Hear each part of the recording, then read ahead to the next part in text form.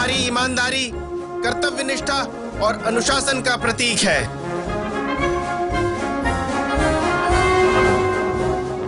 जब थानेदार का कुत्ता मरता है तो सारा मोहल्ला इकट्ठा हो जाता है। पर जब थानेदार मरता है तो कुत्ता भी भौंकने नहीं आता।